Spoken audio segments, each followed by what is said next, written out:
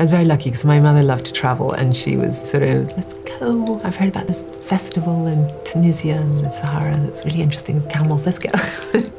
it can never be underestimated the power of travel and what it does, even for a very young child. Things just seep in through the skin, into the cells, a memory of a place and a feeling. It didn't start with a kind of desire to make jewellery at all.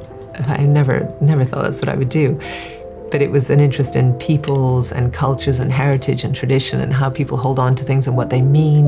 In a kind of very disrupted world we live in, it's sort of oddly things hold a lot of power and meaning.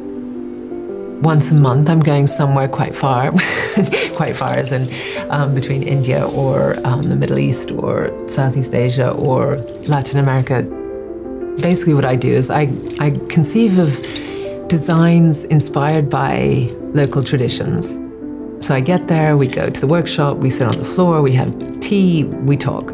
And the conversation will be where I will show them um, the root of my inspiration for a particular collection. Someone will run out to the local stone market and he'll come back with sacks of rocks and we'll go through the rocks and find stones that we feel would be right for the collection.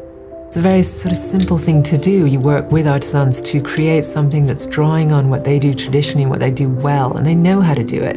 And if you can kind of open up a market for them where they can continue selling, it means they'll be able to hire young people to do the work. It means the stories continue to get passed down. It means, it means that skill is going to survive the hand of the artisan who's making something is part of the piece. It's like, you know, you may not know Javier and you may not know this mine and the Andes and the landscapes and the animals, but you kind of feel something. You know, it's like his hand is in there, the, the mountains are in there, and his story's in there.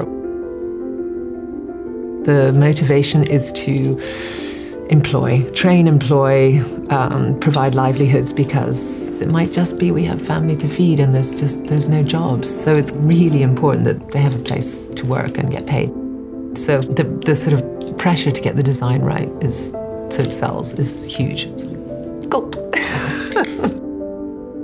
Finding and, and channeling to markets where there's appreciation and you can tell their story. That's what I just started doing over 20 years ago and just carried on. So.